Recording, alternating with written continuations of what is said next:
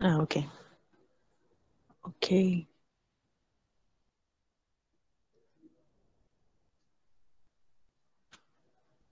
So I hope that started. It seems the, the network on my, my laptop is the issue. So I hope that recording it start. I can see from my end that it is recording. Is, is it also recording from your end, guys?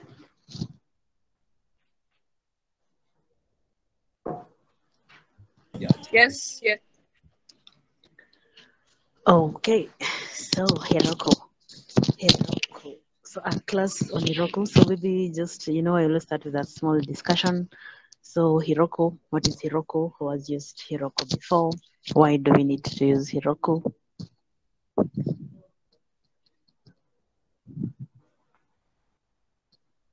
Any volunteers? I have seen a number of people using Heroku already. We're just introducing it now, but I have seen a couple of you use Heroku for your web app development. Yes, Fiseha, go ahead.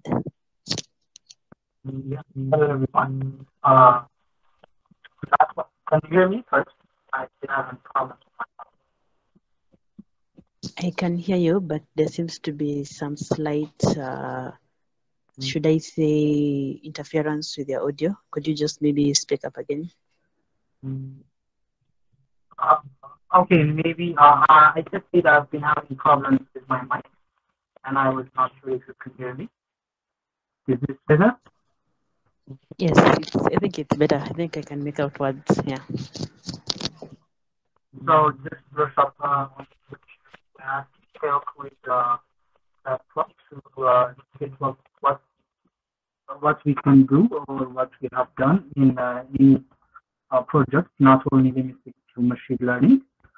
But I think that's what Heroku is all about. Uh, but as I said, I never used Heroku, but I guess I saw something very important, which I think is very important, which is I think somebody said uh, in, maybe in somewhere in this uh, meeting that Heroku is no longer free because if you if it's not free, I maybe you can uh, tell us if it is free or not.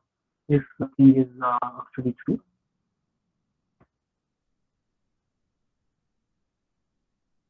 Sorry, so I got that question, but I didn't get it. You're saying that Heroku is no longer what? Maybe I just I saw somebody wrote in this uh, group Heroku is no longer free. It was free, but it is no longer. And I didn't uh, confirm that. Maybe I thought you can confirm that for us. Ah, okay, so I see Natnail. Natnail has something to add first before I give my opinion. Natnail? Uh, last time I hosted, I think it was for uh, week one. It was free, but they have uh, some limitations. Like uh, I think before uh, the SQLite and the MySQL databases were somehow free. You can have uh, an instance running for free, but now they don't have that. They don't offer that anymore. But I managed to host to host like for free without using the DB part. Ah, okay. Okay, so I just want to cut. Thank you. Okay, so maybe to give my opinion before we even start, I did host mine yesterday night and I saw the notice, the one they're saying that the free tier will no longer be available, but it was very specific on uh, some, some certain databases, like was it just three Postgres? Let me just check. They were specific on just three databases.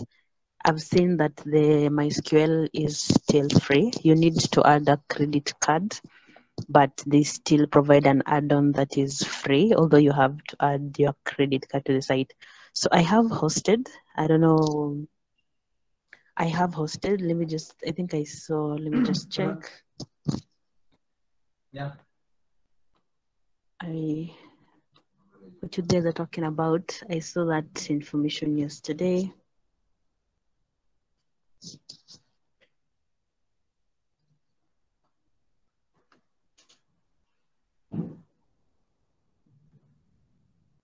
Okay, I can't I can't seem to track it now. Just as you're saying you see, you've seen some communication, the one that I'm looking for, or just yes. No, not yet. I was replying to your yours that it's they have stopped their food time. Oh, okay. Oh, but guys, uh, I think most of you guys, this is something you've been mentioning. It's when you're using a database, that is when they, when you're using some form of database, that is when they have somehow stopped that um, that service for free. But if you just have a Streamlit, maybe like a Streamlit application, you're just maybe trying to communicate some um, some some visualizations, maybe your models, which is what uh, mainly we have for this week. You want to to have that that predictive model on a deployment on a deployment on a deployed environment. I think you could just do that without necessarily adding the data. So I'll show you something else uh, when we start this tutorial, something we were able to achieve during our my time. And uh, maybe we could also take that approach. While I was also doing some research, I also saw where you could just add data directly from Excel and use Excel instead of a database for your data. Of course, it's not it's not the best, and I think with time we can just that it's good that we've noticed that Heroku is actually no longer free to some extent, and um, yeah, maybe we'll find another deployment deployment platform for next time. Although, guys, the information that I saw it said that that starts late November, like somewhere November this year. So I don't know why you guys saying it's still not free. And the I can't see it now, but that information was like something like it will from November this year. That is the communication I got from Heroku. Okay. So anyway, that was uh, let's just say start to Heroku by Fiseha. Back to my question: Has anyone used Heroku before? Just maybe getting that comfortable with deploying an application to uh, an environment. Yes, Bekalu. You want to tell us about your experience with Heroku?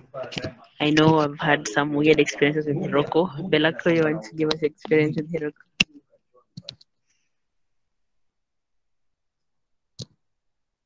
Heroku? Bekalu.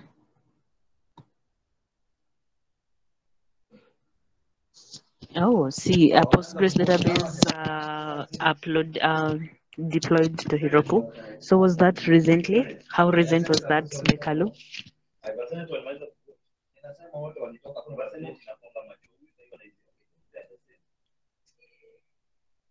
Two months, two months, two months. Okay, two months is a long time. Maybe we cannot we cannot say a lot about that, but yeah, two months seems to be a longer time. Okay, anyway, so let me just share my screen and have this little discussion. So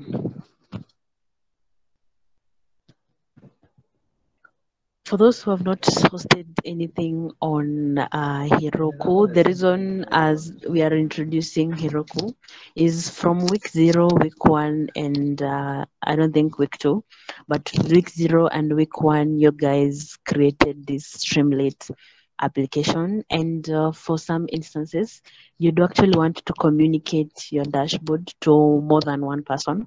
Like for example, in this week's challenge, you're given this scenario where you, where Rossmann has almost 1500 stores and uh, everyone from these 1500 stores located maybe countrywide or globally you cannot just come to your laptop and access the work that you've deployed on your own local host machine that's where platforms like Heroku come. For the longest time, they've been doing it for free.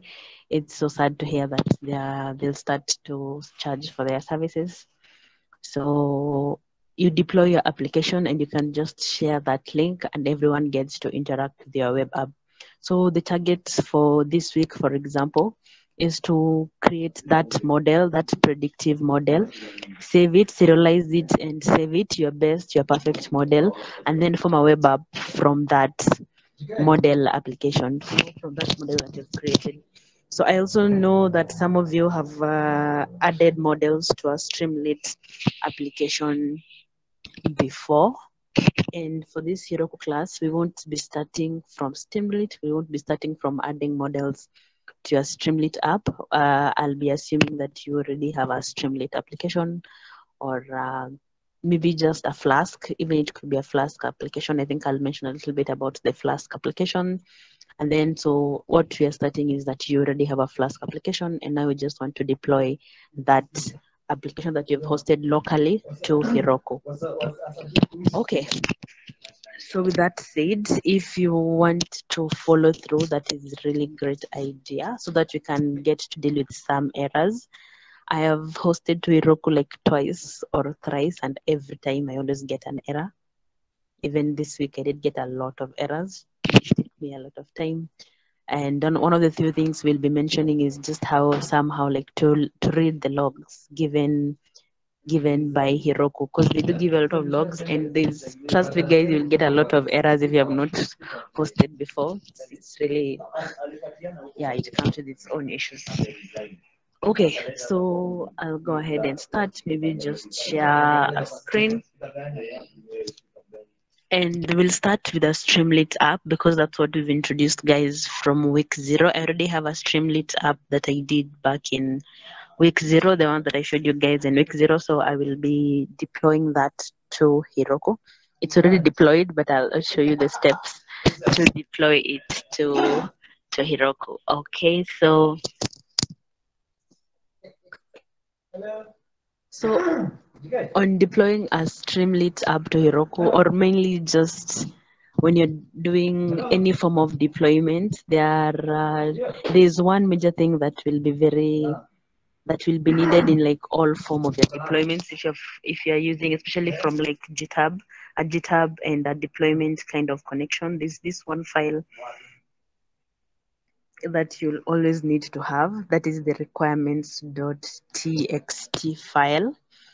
I don't know if all of us we are comfortable with generating this requirements.txt file because if this requirements.txt file does not reflect what is in your code, what it is in your work, your deployment will definitely have an error. I am not even joking. But yes, Ejid, Ejid has given us a really nice and easy command that we get to generate the requirements.txt file. It's just pip freeze. So let me let me stop the screenshot because I think uh, I will do both screenshot and code. So let me so share code. So sorry, I have so many errors here. So let's just clear.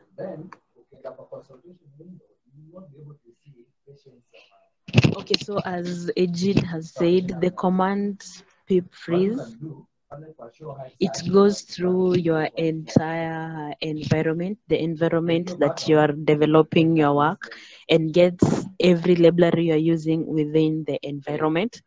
And that is why, guys, again, for most of projects, most of Python projects, we keep saying create a virtual environment so that the libraries are actually tailored just to that environment so that this document cannot be as huge. So anytime you do like a pip freeze, I have not added what Ejid has said, you can get all the libraries used within your environment. So if you are if you if you you're doing a project in just your environment total without having like a virtual environment, then you will get all the libraries installed locally on your machine, which can be very extensive, even when you're using such a small. Yeah, I think that is who's that? Is that Anjanet? Yes, and that's exactly what I'm saying. If you do pip freeze and you don't have like a virtual environment set for your current project, you will get everything installed in your local machine. And that's why we advise create that virtual environment and then do your pip freeze within your environment. So you noticed I did do a pip freeze and I get a list of uh, a lot of libraries, most of which I have installed on my machine. So all of this environment, all of these libraries that you get, you'll just look. So there's no need to worry if your if your Streamlit application is working locally, then pip freeze will not take a lot of time. It's just pip freeze, and then when I did pip freeze, you just see the list of um, the list of the libraries, but if you want to save that to the requirements.txt file, which is what we call generating, that's when now you do pip freeze. And then the output of that you set to requirements requirements.txt. So I already have the requirements.txt file. So what you'll just do, you'll just modify it. If it is exactly the same libraries in that file, they will not change. If there's something missing, maybe you've added some new code, you did some new imports, you've done some deep learning, and now you have a TensorFlow. So it will just take that and add it to the already existing. So even if you already have the requirements.txt, when you do it every single time, that file will just be populated with more and more libraries. Okay, so we have our first file, that is the requirements.txt file. Something else, when we talk about uh, Heroku, when Heroku is starting, it will always look for this file called the proc file whether you're doing a Streamlit application, whether you're doing a Flask application, I think even a Fast API application, I am not so sure about that. I haven't hosted a Fast API application, but I know for sure that a Flask application at the same time a Streamlit application, Heroku will start by looking for looking looking for this proc file. So Mohammed, is there a question? Yes, I have a question. Um, when I'm deploying, uh, when I'm initiating a virtual environment, do I need to reinstall all the packages that I am using in that specific project or um, the, the virtual environment will take all of uh, those libraries and uh, methods that I'm using and um, using it in that specific environment.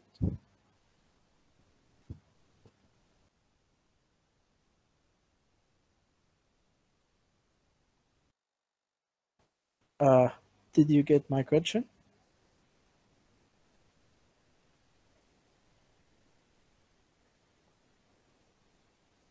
Uh, anyone hear me?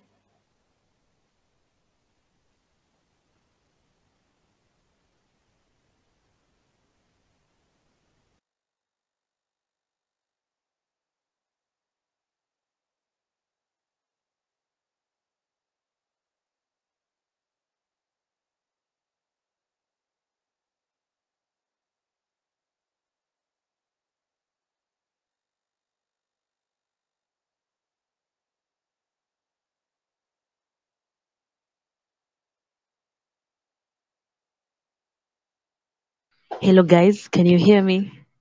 Uh, Did I did I drop for a second? Oh yeah, yes.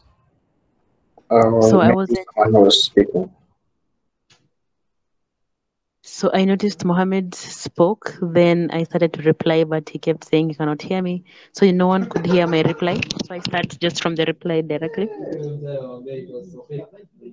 I did not hear the reply.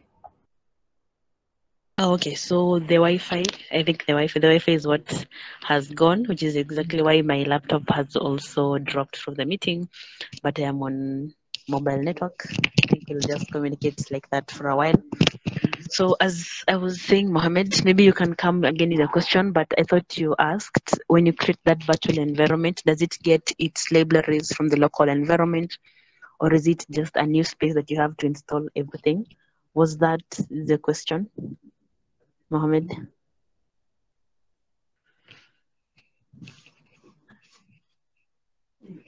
Is Mohammed still here? Mohammed has dropped. Mohammed has dropped. Okay, so maybe we'll wait for him to come back until I answer that. But if I did get it like that, if that was the question, just to answer you guys. So anytime you create a virtual environment, it does not come with libraries. And that is why sometimes you'll find you've created a virtual environment and you're doing import pandas and you keep saying you don't have pandas and you're like, but I do have pandas. No, in your virtual environment, you have to do the installations afresh so that those libraries are tailored to your current project. So most of the time, especially if you create your environment, if you create your virtual environment with something like Anaconda, it gives you the option of maybe choosing a few things to initiate your environment with, like a Python environment. So, okay, so which Python version are you going to install to that environment? And then maybe just a few prerequisites for that specific virtual environment. Okay, so as I was saying, now that you can't see my screen, but as I was saying, you need this proc file. Heroku always looks for this proc proc file, and um, in proc file it only states like a few things. It's like when we do it's like when you do a CML and it's looking for this CML file to run your test or to run your train, whatever. So Heroku looks for this proc file to know, okay, so what kind of environment do I need to set up and what exactly, what exact file will I be running? So that, that is what Heroku is looking for in the proc file. So you guys cannot see my screen. I don't know if how I should share the content of this proc file. Mm, how should I share the content? Please just type. So let me check. I think the Wi-Fi is back. Google Meet.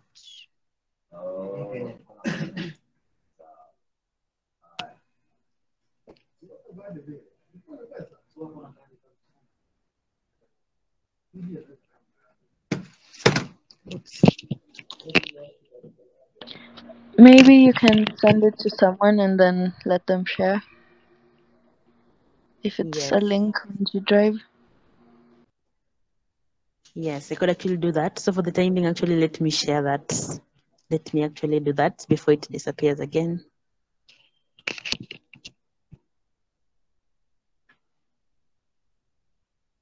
So do we have someone else from Ten Academy team here? Azaria, Azaria, is that you? Um, um, yes, anesthesia. Um, I'm sorry, I didn't get that. Can I share? Let me share this presentation with you in case my Wi-Fi misbehaves again, so that you can just present from your machine. Oh, okay.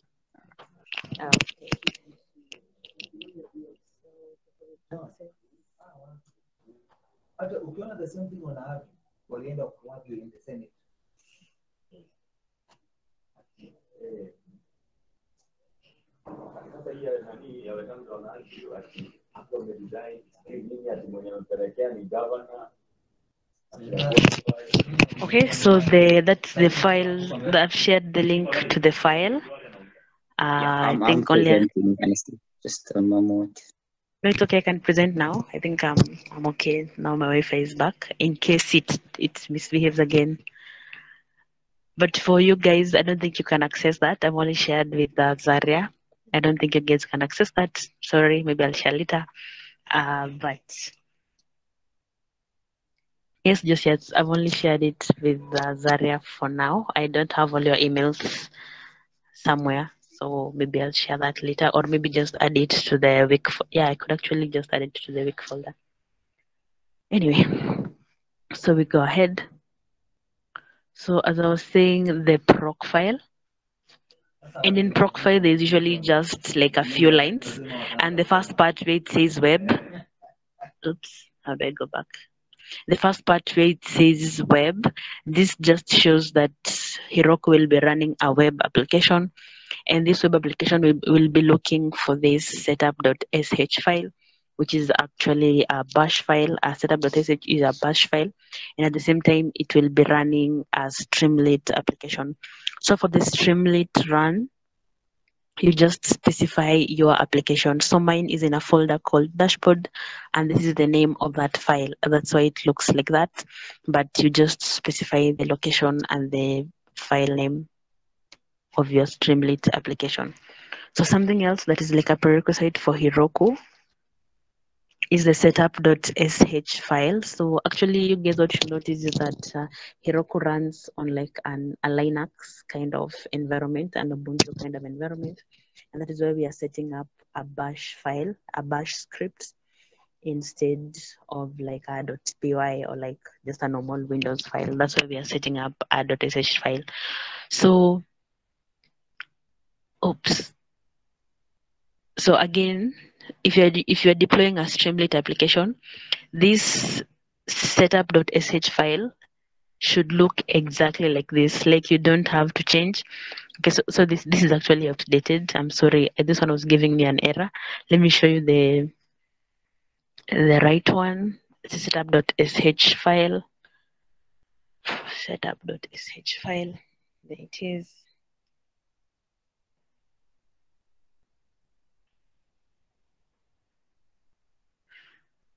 Yeah, so I hope you can see my screen. Your setup.sh file, if you are deploying a Streamlit application, will always look like this. Like you don't need to change anything here.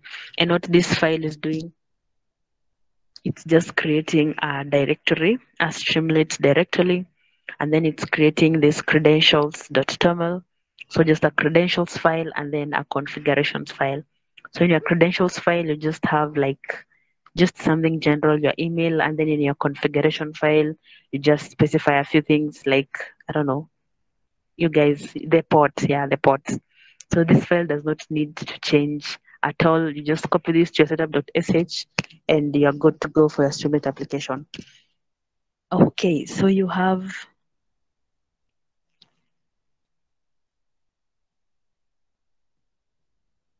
Mm, first, I don't know how do I share this again. This is not visible, guys. This is not visible.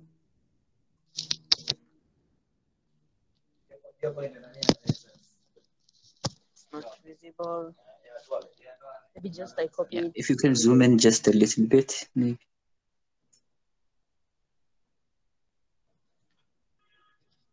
See, I'm trying to zoom. I don't even know is it. Am I doing it wrong? I'll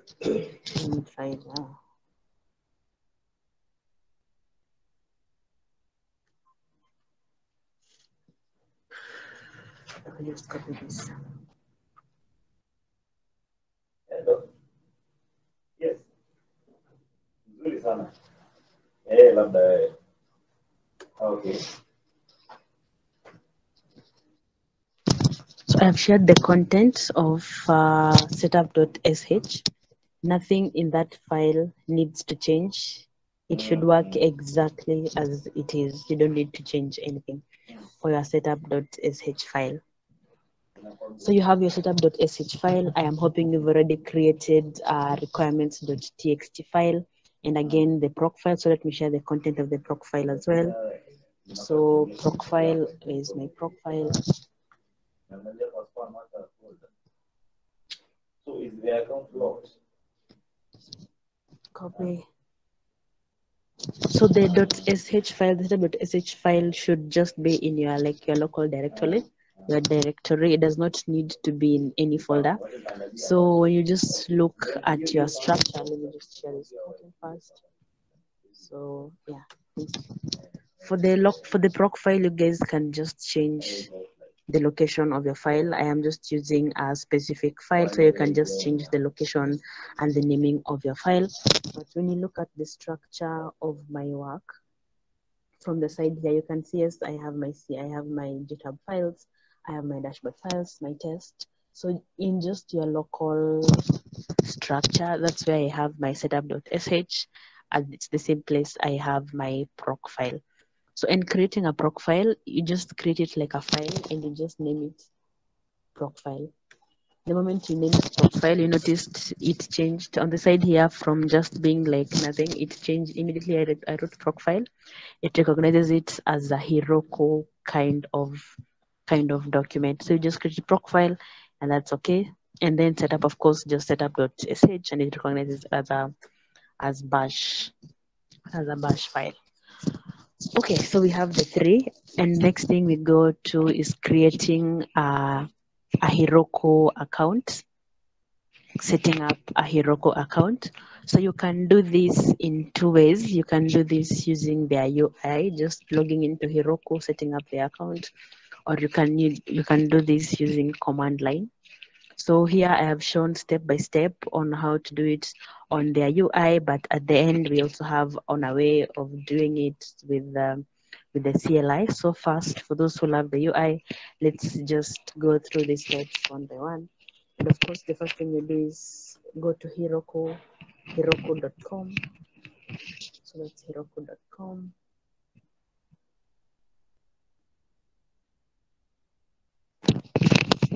I am already logged in. Let me just share a more a link that is more just heroku.com.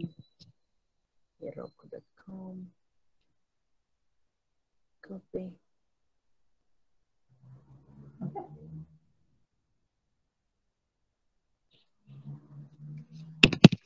So you just log in to heroku.com, www.heroku.com. And if you don't have an account with heroku.com, it's a free account. You can just set up your free account. Let me try to log out. Maybe if we log out, we can see the steps. Well, so if you are new to Heroku, just set up your Heroku account. And then after setting up a Heroku account, of course, you've confirmed your email address. You log into Heroku. I don't know why I logged out. Do I remember my password? Oh my God.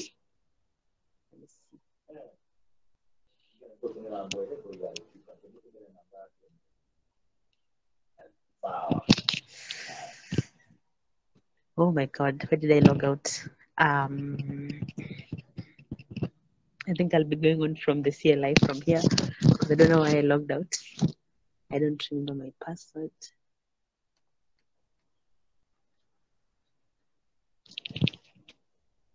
That's for real.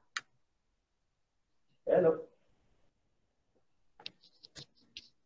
Oh. Mm. Hilo Septemba ni sawa.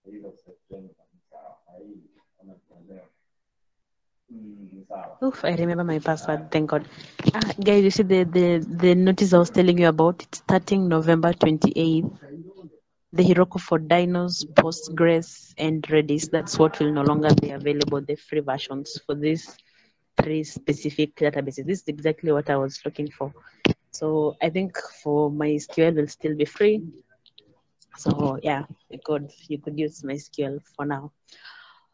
Okay, so for those ones who are doing it for the first time, could I have maybe someone who's doing it for the first time so that we can follow up with them where they are so far?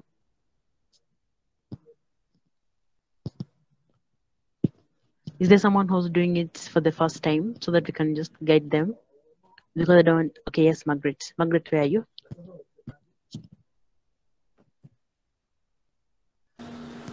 Um, where am I? Where exactly? Sorry. In the setting up, in the setup, in the process, where are you? Do you have a proc file ready? Do you have a setup .sh No, ready? Do you? no, no, nothing is ready. Okay, I see Tamar. Tamar, how far are you? Uh, I just signed in and they are telling me to go and check my email. That's what I'm going to do. Oh, okay, okay, okay. Do that. Margaret, Um, I. I have set up this number two and three, but number one, uh, I I think I missed it. I think I It is a how proc to file. set up a profile. Sorry, sorry. It is a profile, so you just name it profile.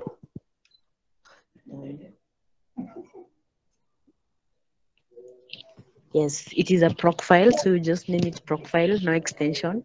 And then the content, I have shared the content of this profile. so it's just web to indicate it's a web app. And then you reference that setup.sh file, and then the normal way we run a Streamlit app, so just Streamlit run, and then your Streamlit application. No, no, no, no. The proc file does not need to be in dashboard Ejid. The prof the proc file just needs to be in your root root directory. Because when we connect GitHub, when we connect GitHub with this with this Heroku, it will just be looking for that file from your root root directory. Okay, so I see time is going, and uh, so for setting up using the UI. So when you create that account, Tamar, have you are you done with creating that account?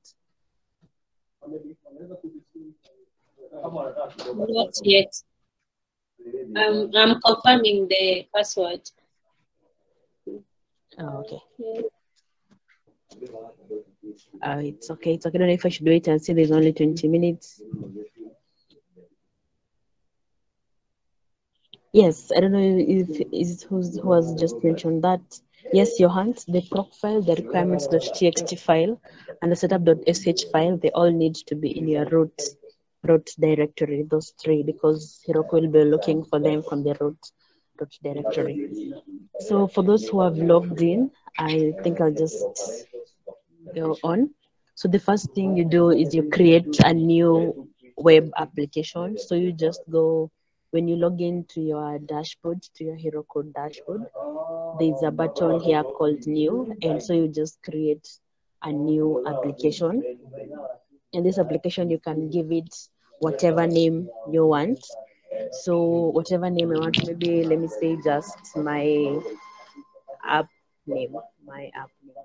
And this name needs to be unique. So you say, see it's not available because this is like a domain. It's what will actually create your link actually create the link to application. So it needs to be unique. It seems this one is already taken. So let's try Anna, Anastasia app. That one is available. So that is an, an application that is available.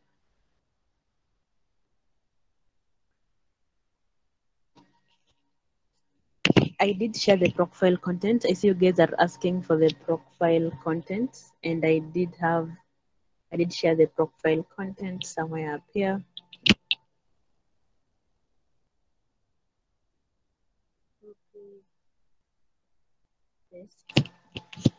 So that is the profile content. Uh, it has been shared again. But the last part, dashboard, stroke, Streamlit, and whatever that is uh, that is uh, that is where my Streamlit application is. I'm referring to my Streamlit application. So make sure you just change that last part and um, has shared again the content of the setup.sh file. That one does not need to change at all. It should work exactly as it is.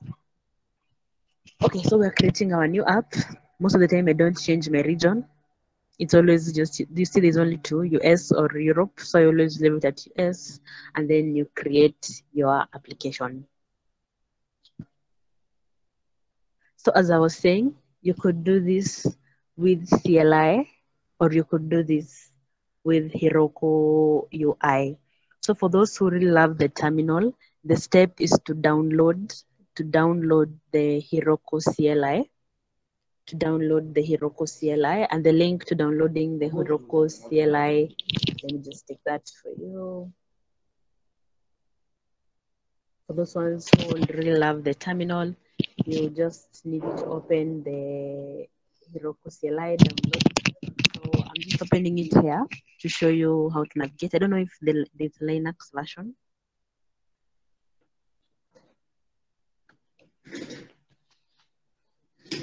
So the only thing about Heroku as a prerequisite is that you need to have Git installed. I'm assuming by now everyone has Git installed in their machine. So yeah, we won't go a lot into that.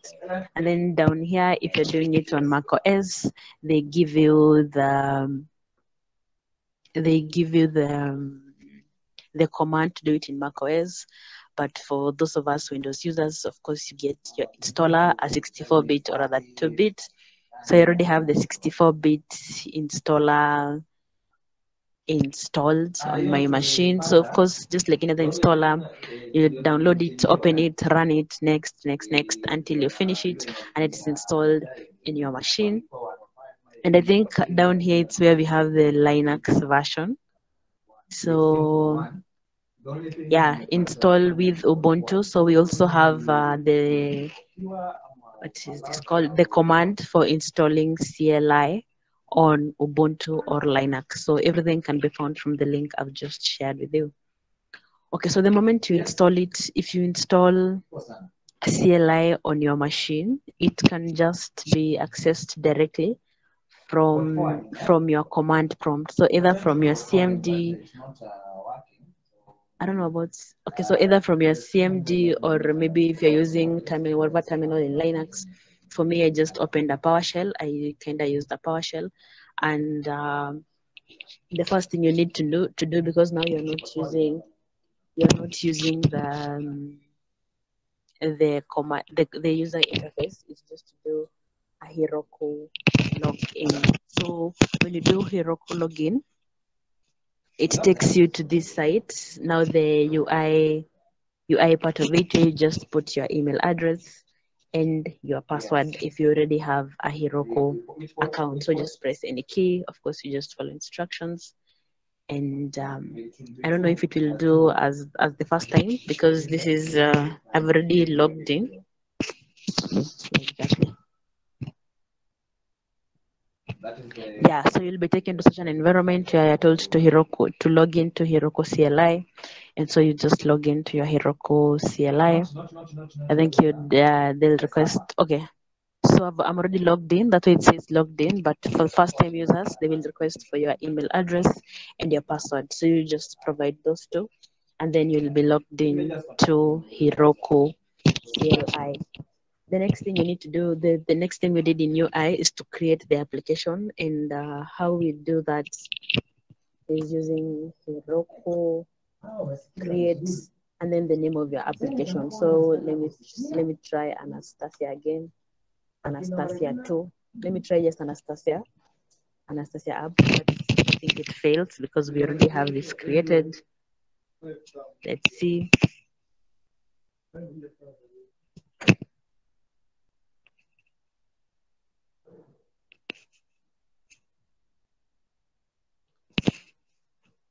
So it says it's already taken, and you guys know why this is happening. It's because I already have this created from the front end the other time.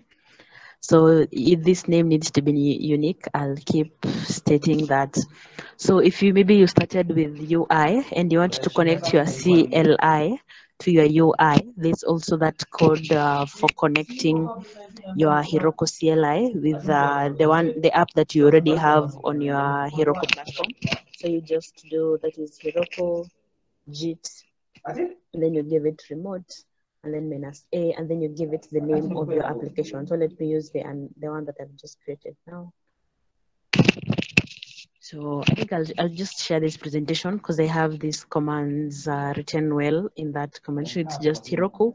And the, the next part is just say showing that I am connecting to my report applic uh, my remote application, which is called Anastasia app. You saw me create this app. So I think this connection will happen smoothly without an issue. So yes, that happened successfully set Git remote to Heroku. Yes, so I have my CLI connected to my Git repository. Okay, then goes to the next step, connecting your Heroku, connecting your Heroku to your GitHub, where now you have your Streamlit application or where you just have your code, your requirements.txt, your profile, and your setup.ssh. So I will, of course, I will start with um, with the front end version, how to do it on front end. Then we will come back to CLI. For CLI, guys, just take a rest. And um,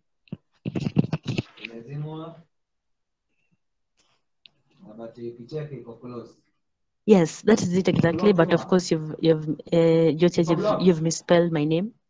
That's not the name of my application. But yeah, everything. No, no, it should be Heroku Git Heroku Git and then remote minus A and then the name of the application. So you have to start with Heroku first. That command starts with Heroku. So Heroku and then Git remote, then minus A and then the name of your application.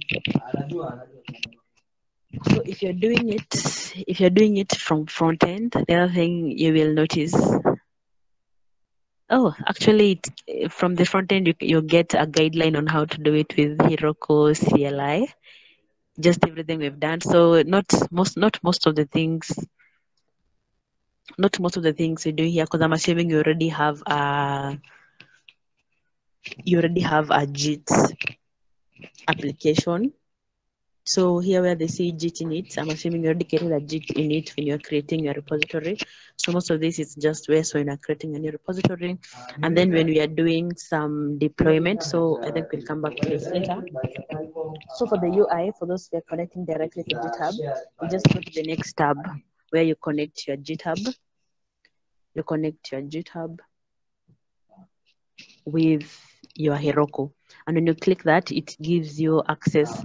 So for the first timers again, if Heroku, you're doing it for the first time, I think I added I added it to the presentation. If you are if you are linking your GitHub to your Heroku for the first time, it will prompt you to log in. It will prompt you to connect to GitHub. Let me just expand this. When you're connecting for the first time, it will prompt you to connect to GitHub. So for first timers, it will look something more like this, not what you've just seen. And then you just search the name of your repository and you connect to that repository. So I think it's, I don't know, I'm, I think it will ask you for credentials. I'm not so sure if it will ask you for credentials for your GitHub. But yeah, if you just get prompt for for the credentials of GitHub, just provide. And then the next thing we do is just to search for the repository that you want to, to connect with Hero. So that is exactly where I am. And you just come down here and you search for that, for that repository. And the repository that I have my Streamlit app on is the week zero, the week zero work. So that's why I'm searching for Twitter. It should be a Twitter analysis week six. So let me see. Twitter. What's happening?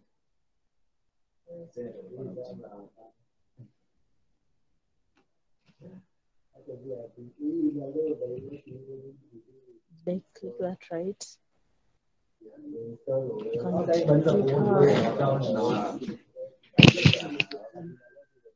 Yes, just this when you don't want to use the terminal. Item could not be retrieved. Ah, okay, so I just connect again. This is what I meant. So you connect again to GitHub. I think I have lost that connection to GitHub. Of course, it prompts you to log into GitHub. So for first timers, that will be it will be a little bit more. And then okay, so I come and search my repository. It's called Twitter. Yes, and I get access to all the repositories that start with the name Twitter. So I want to connect to this repository. So I just click connect. And just like that, you have your app connected to your to your repository. And the next thing after that, remember you already have you already have um, a proc file. You also have a requirements.txt file, and you also have a setup.sh. I keep saying this because after connecting your Heroku to your CLI, the next thing you just need to do is click a button called deploy. And you could do either you enable automatic deploys and enable automatic deploys. What this means, anytime you push to your GitHub, your Heroku application will be updating. And if you click this button here that says wait for CI to pass before deploy, of course this is this is advisable if your ci is working perfectly but if you keep getting those if you keep getting those issues from your cml or your github actions please don't enable this eh, especially if you're still like your github is still like on the testing stage but if uh, you are working maybe with a company and yes we've paid for Heroku and you're using this then it will be actually nice to enable the ci so that all the continuous integration checks can actually pass before it updates something that has been deployed online. So you could do enable an automatic deploy, but just for the manual deploy, you come down here and you click you click on deploy branch. As easy as that, of course, it will do some form of installation. This is happening from your requirements.txt file, from your setup.sh. Everything here now is it, it is communicating with those three files I've been mentioning all the time. So as this run, for those who are CLI lovers, we'll just go to your to your version again. And uh, for your version, so from here, what you just do is you commit you commit the changes you've made with your um, with your Heroku. So I, I noticed for the CLI guide, there's something I forgot to mention. You'll notice that when I'm doing the Heroku login, Heroku creates everything I'm doing on Heroku. I am doing it in a specific folder, the Twitter Analysis B6. This is my local repository folder. So I'm so sorry I forgot to mention that. You don't just do it anywhere.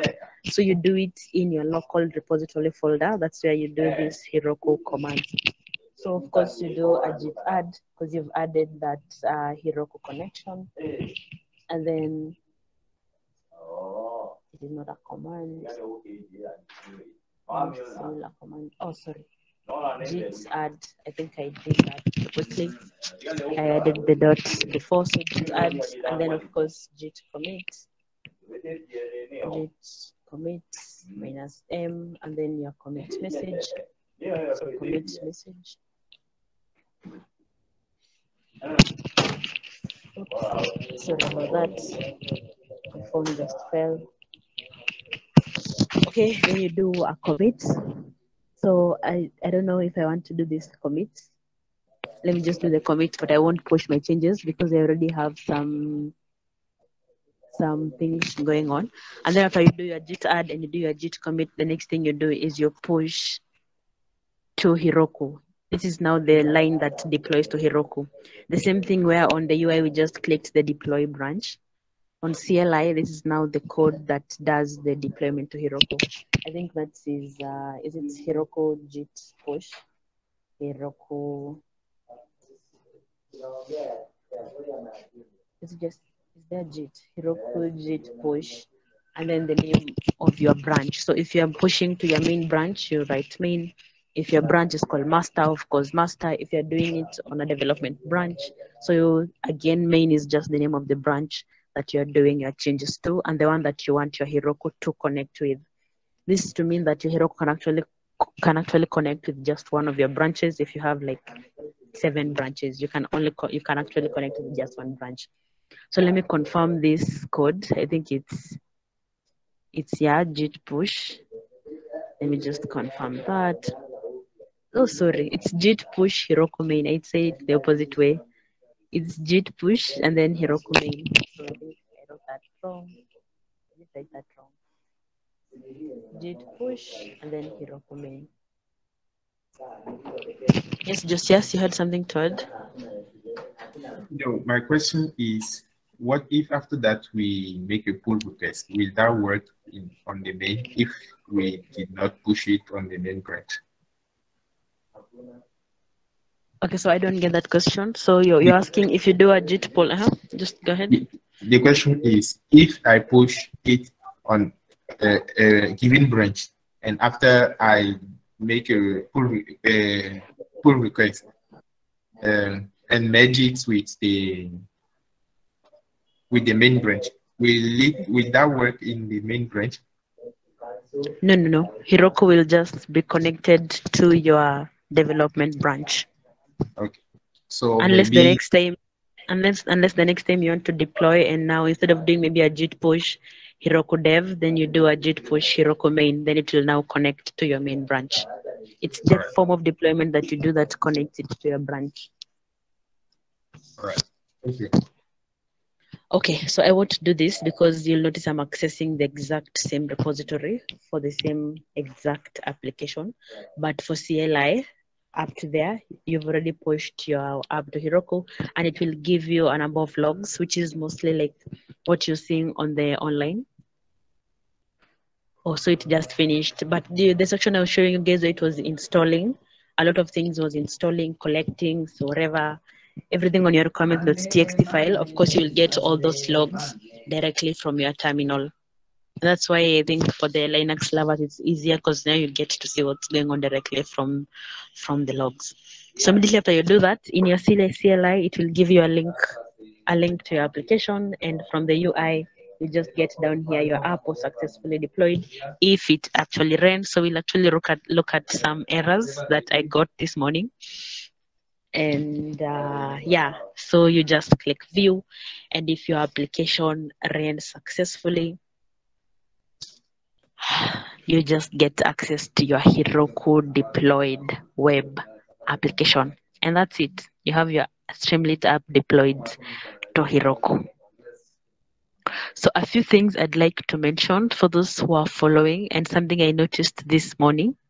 How to view from terminal just yes after the logs complete running and if you don't have any error, the CLI will give you a link this link that I'm getting here, you'll get it directly from CLI. So you just take that link and you put it on your website and you can access that application.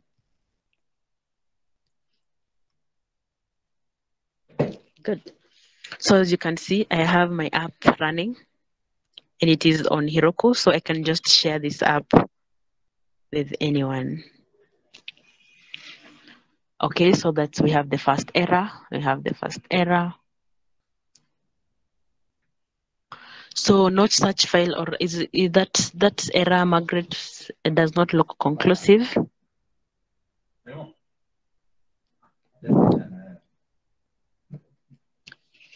Okay, so Margaret, I this is what I wanted to mention. For Windows users, for Windows users, you will get mainly that error because Heroku runs on Heroku runs on a Linux kind of environment. And if everything is working locally for your Streamlit application, when you did when you did uh, a pip freeze, when you did a pip freeze for your requirements.txt file, if you guys noticed when I did the pip freeze, I didn't commit these changes because I knew I would get that error as well. There are two specific libraries at the middle called Pywin and Pywin PT or something. These two files, Margaret, check if you have these two files, the Pywin 32 and the Pywin PTY. These two files are specifically used for a Windows kind of environment. And since Heroku is not a Windows based kind of environment rather than it is a Linux, just remove these two specific files from your requirements.txt and this should source should የበፊቱ ኮለመኖች ነበሩ ነው። ከዛ ምን ተከስተ አዲሱ ኮለመን መጣ። Yedidia, Yedidia, that, that's Yedidia, right? Oh, okay. Um, I, I have those two files on my requirements.txt. Remove them and and change and uh, do what? Remove them and um, and Push commit and commit it. Yeah, push the changes. Just remove those two. For every Windows user, if you have two files, the PyWin and the PyWin PTY, these are just Windows-based libraries, and they won't work on a Linux environment. So remove those two files. And if that was the only issue and your system was working perfectly, it should actually it should run. Okay. So the other thing which I neglected for this tutorial on purpose is when you are using the dashboard, the MySQL. So let me let me first remove the the text file. I don't want that ever. Let me remove this too. Save. Then let me change. I do have two Streamlit applications. The other one is an application that is using a MySQL database.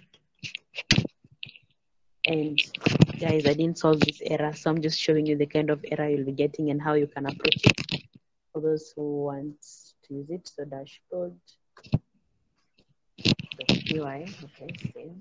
So me push those changes. Sorters. MySQL on Heroku. And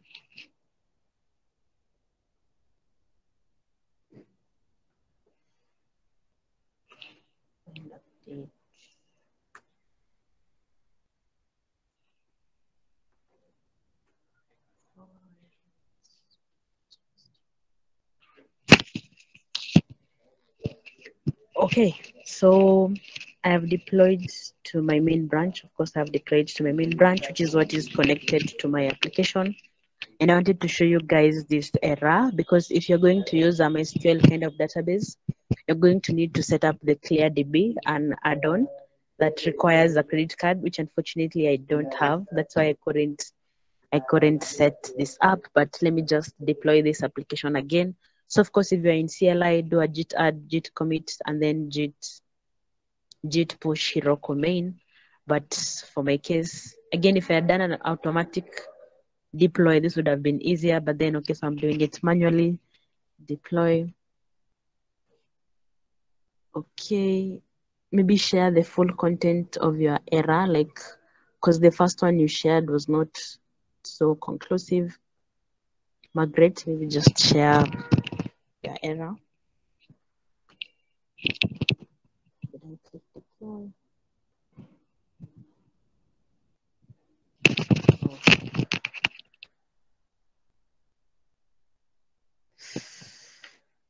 Yikes. So I don't know if you guys can see, my system is telling me I've reached, I think this is what you guys meant but it's not free anymore. I have reached my concurrent builds limit. Seems I've been building a lot for, for this tutorial, so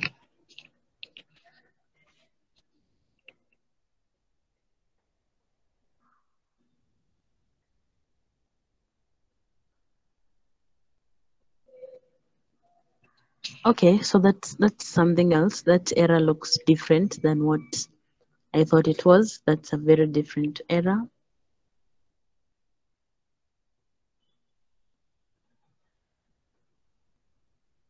Which file which file is it referencing, Margaret? Because I don't think I know which file that is. Do you have this file somewhere in your in your code or in your txt file? Do you have you been able to just track this file?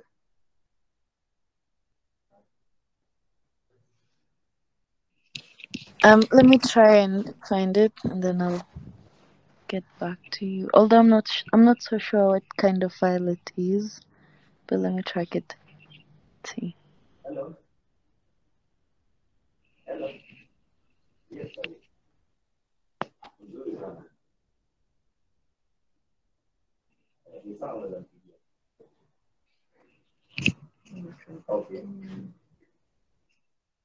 Ah,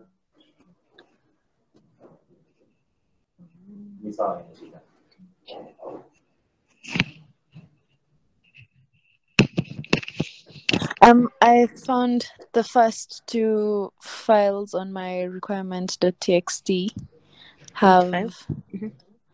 uh they have they have the same format aiohttp file. Oh yeah. Um, the one the one on my error. So the file db a dbld ai or http work. Um, it's the first one on my requirements.txt file. Oh, okay. So could we say that when it's saying D, is that like your like your local? What should we say? Like a drive? Local. That D is a drive. Yeah. Oh, that then that could mainly be the reason because of course this is just something local. Maybe try removing that. Just remove remove that from your from your requirements.txt. Okay.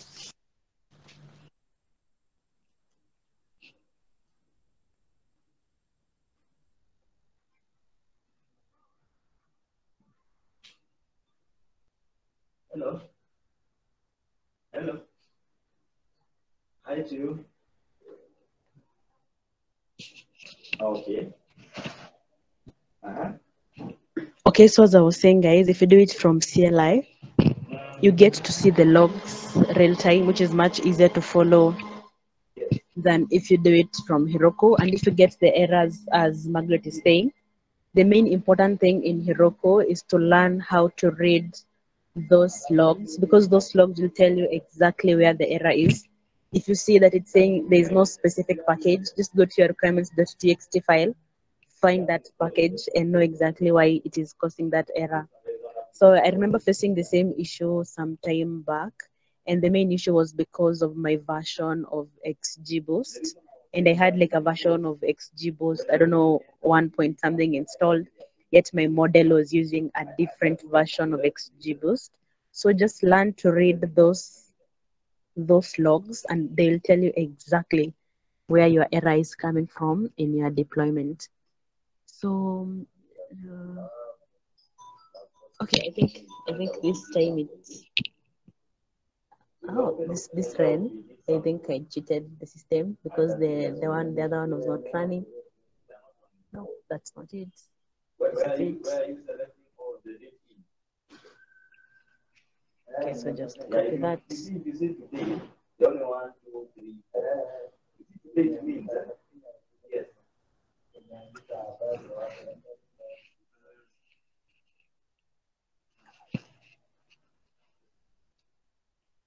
You are saying if I queue right now and get him to that. Yes, exactly. So this is the kind of error I was expecting. If the CLI worked, it did notice I was I had I had used up all my deploys for the day or the limit.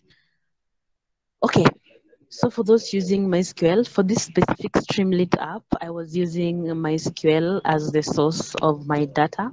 And that's why I got this error, cannot connect to MySQL server on localhost. So for those who are using MySQL, you'll need to add an add-on called ClearDB. And then you just go to your dashboard. There's uh, under under resources, under resources, Under resources down here, there's add-ons. So you just search for ClearDB. And at first, this will give you an error because you maybe you don't have a credit card connected to your account. So you should, let me see. Okay. So he just submitted an order form, and that's when he told me I need please please verify your account to install the add-ons. Please enter a credit card. So to actually use this cleardb.mysql, you need to add the con you need to add the details for your credit card. It will not charge you. It is a free add-on, but you just need to add your credit card in order to use this cleardb.my MySQL. So of course, for adding your, your credit card, I think you just go to that's app information. We have billing, sell, domain.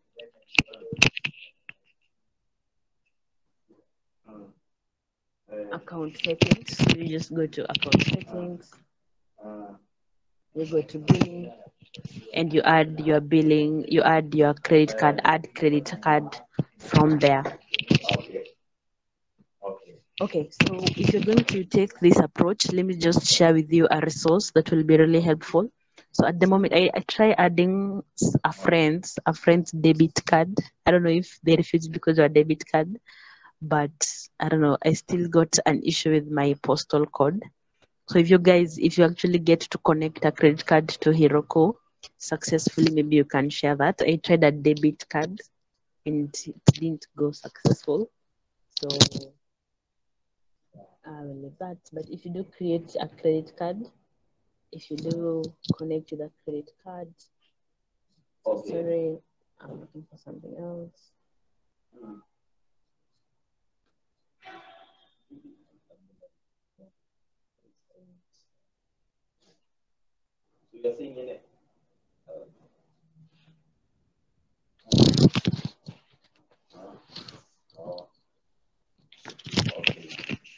Okay, so if you use it, if you create, let me just look for it again. I think I closed it.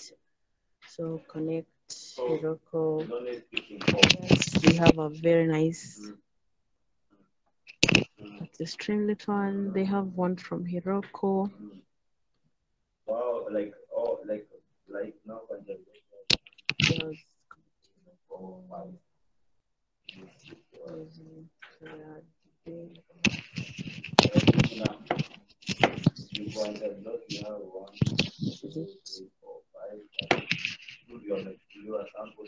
Yep.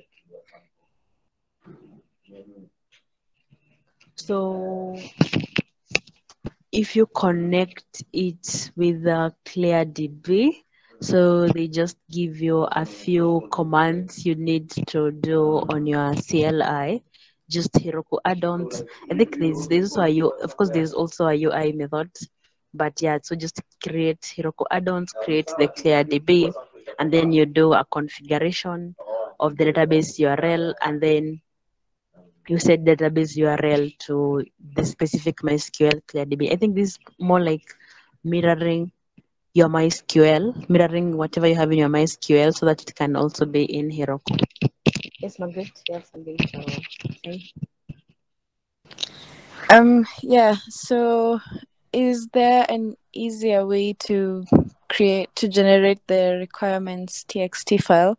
Because it has like um almost 350 uh lines and every time I delete the first line after building it from Heroku, I come back again, delete that line, and I, if I deploy it again, I find that line two is the one that needs that has an error, so it needs to be deleted again. Line three, four. Um, how long will that take? It will take some time, and that's why the fact that you have 350, wow, I, so you, you are not running it from, you're not running it from our environment, right? I did. I set up a Python environment, and then I re- regenerated the text, the requirements file.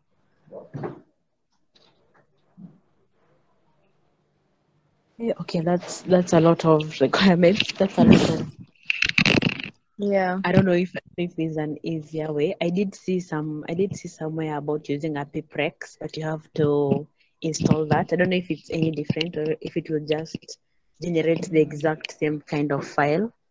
So maybe has anyone tried to use something else different apart from apart from what do we call apart from pipfreeze?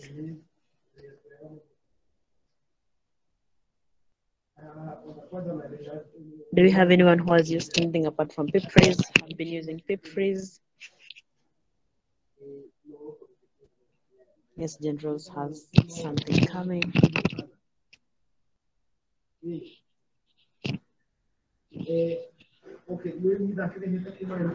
I notice it's, it still has pip and freeze, so I don't know if that will be different. But yes, Margaret, you can try what Generals has provided.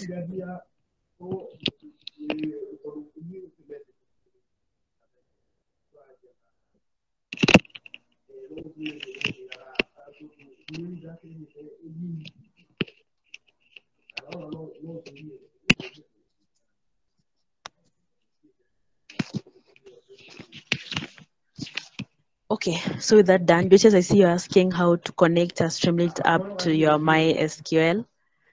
Um, that's another tutorial, but on week zero, in week zero, we did we did show you how to do that. That's already in week zero. So you'll notice from my from my from my Streamlit application, I am loading data from you see I'm loading data from a select all from tweet information, which is already added a table created in my MySQL environment. And then I am using an execute fetch, which is now fetching that data.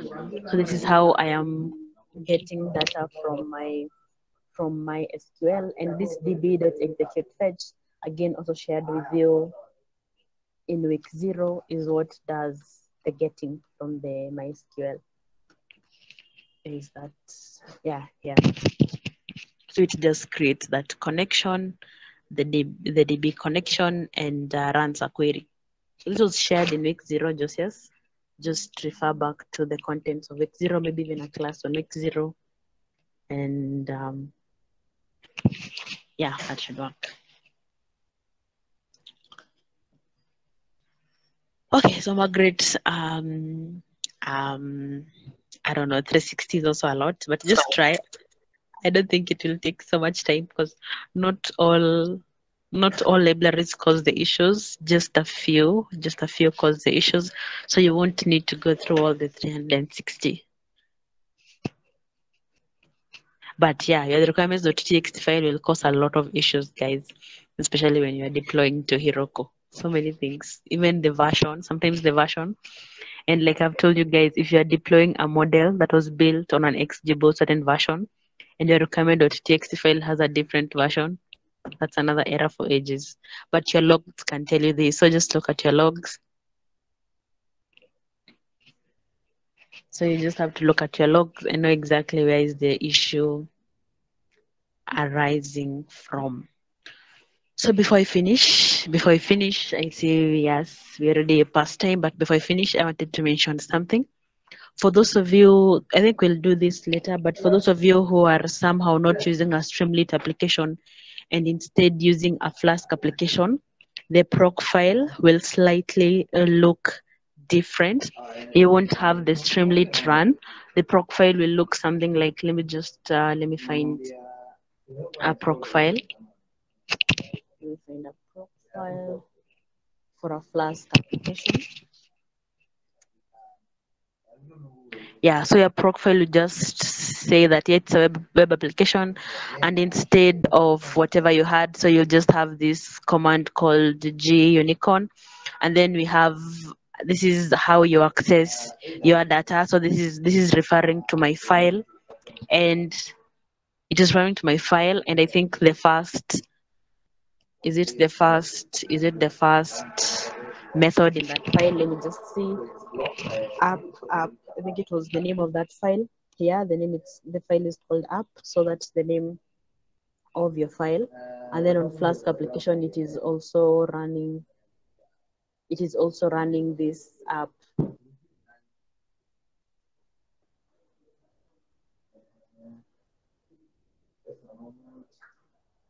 It is running this app, which is a Flask app. I hope that makes sense. If you're using, this is for those who are using Flask application. We have not delivered any content on Flask application, so I'm hoping you got a lot of you. But just for those of you who are already using a Flask application, you'll notice why why I keep saying the app.run. You'll notice here when I'm when, when I was doing it locally, it was app.run, and this app, as I've showed you guys, the one that I had uh, I had uh, created it at the top here. So just remember to change those names by using a Flask application, and I'm assuming you've already done it. If you've done, if you're using Flask, I think you know what you're doing. So your Procfile is the only thing that would change for Flask application.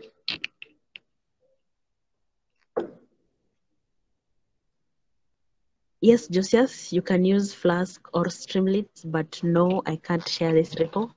I'm sorry, I can't share this repo. Go somewhere else. I'm I can't share this repo. This repo is actually on the exact same project you guys are doing. This was my project, my time. So it will be like giving you a few things we did, and I don't think that's good. So yeah, but in the end, in the end, we ended up creating. This is still hosted on Heroku. We created this back in 2020. I was still surprised to see it still active. Yeah, we created this back in 2020, and as we said, yeah, so yeah, here we just deployed a model, and so of course you want your app to do such the same thing. I don't know. I don't know if if this will still work. Uh, Tuesday promotion day, no school day, uh, no state holiday. Predicts. I don't know if this.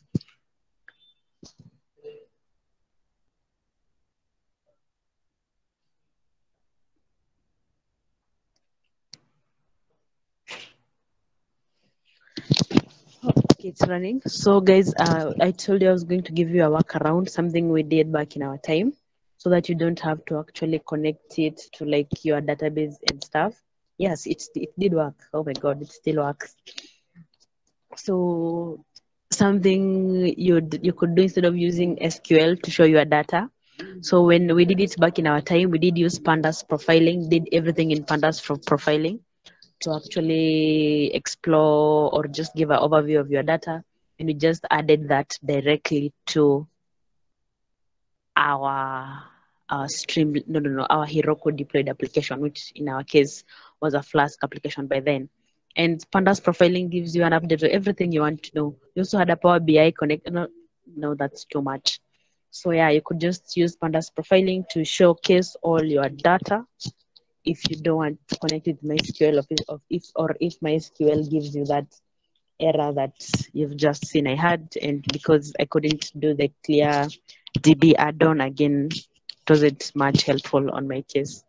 So these are just a few of the workarounds you can you can do for that for Heroku deployment. Yeah, I hope that was informative and I could say that's it from the class. Are there any questions before we wrap up?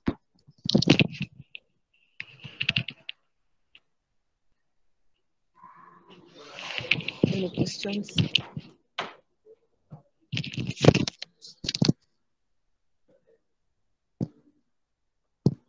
Okay, that silence mean we've understood. We okay, yes, Margaret.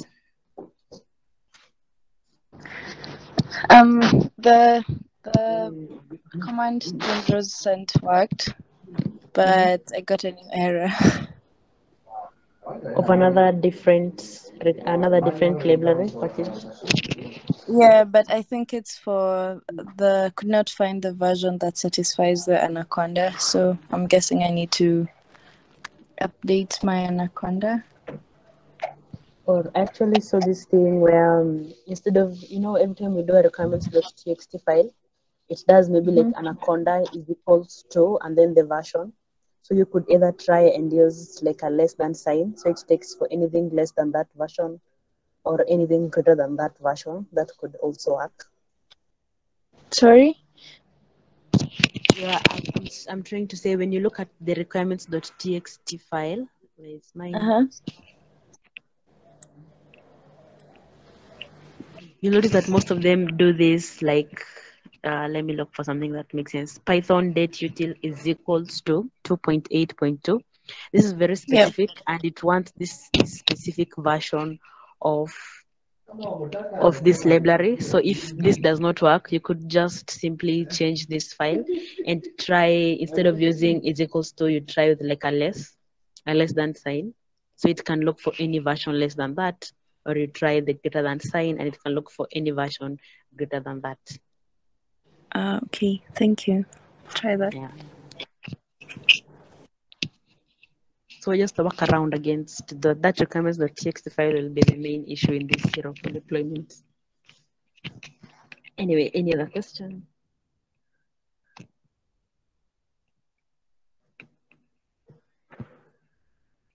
Okay, so just because of the silence, maybe can I ask, is it clear? Is it clear? Maybe I'll take three hands, three to five hands maximum. That is, that would be really nice if we had about three to five hands. Okay, so that's, that's two hands. Any other person? Is it clear? Is it clear, guys? One, two, three, four. That's four. One more person. Is it clear? Then we can just conclude here.